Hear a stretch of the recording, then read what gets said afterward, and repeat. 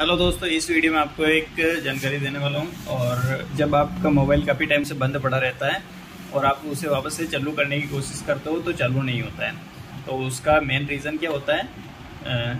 जब आप उसको पड़ा रखते हो तो इस बैटरी में धीरे धीरे डिस्चार्ज होने लगती है ये बैटरी और एक टाइम पर आकर बिल्कुल डिस्चार्ज हो जाती है। फिर जब आप इसे चार्जिंग पे कनेक्ट भी कर दोगे तो भी ये चार्जिंग नहीं लेती है। जैसे अभी आप मल्टीमीटर में आप देख पाओगे इसमें बिल्कुल वोल्टेज नहीं होगा, क्योंकि ये फ़ोन ऑन नहीं हो पा रहा है और चार्जिंग पर लगाने पर कुछ भी एम्पियर भी कंज्यूम नहीं कर रहे हैं। तो मैं यहाँ पर मल्टीमीटर को ऑन कर लिया मैंने। आप मल्टीमीटर देख पा रहे होंगे और मल्टीमीटर का दोनों वायर में इस पर टच कर देता हूँ। तो यहाँ पर 3.9 वोल्टेज आ रहा है। अगर ये भी नहीं आता है तो आपको क्या करना है?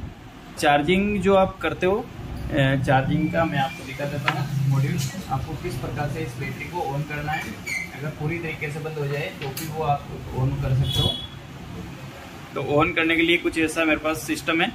आपको ये चार्जिंग सॉकेट में डाल देना है और एक ये जो मेन पिन होती है फ़ोन में लगाने के लिए उसको निकाल कर ये बनाया गया है।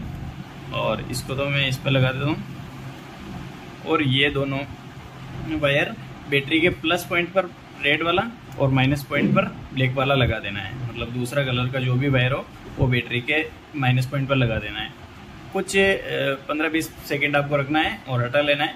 बैटरी वापस से अगर 3.9 वोल्टेज प्रोड्यूस कर देगी, अगर नहीं करती है तो बैटरी के यहाँ पर नहीं टच करना है और इसको खोल के अंदर जो दो पत्ते लगे होते हैं, उस पर आपको ये टच करके रखना है कुछ देर के लिए और फिर वहाँ पर वोल्टेज चेक करना है। जैसा मैं आपको दिखा सकता हूँ। फिर अभी मेरे पास एक्स्ट्रा बैटरी नहीं है तो मैं आपको नहीं दिखा सकता। बैटरी के दो प्लस माइनस अलग अलग होते हैं। वो आपको मल्टीमीटर से चेक कर लेना है, थोड़ा बहुत पावर आ रहा होगा। उससे प्लस माइनस का अंदाज़ा लग जाता है। तो आप इस प्रकार से बैटरी अगर पूरी तरीके से बंद हो जाए तो उसको भी आपस से ऑन कर सकते हो। मिलते हैं अगली वीडियो में। जय हिंद, वंदे मातरम।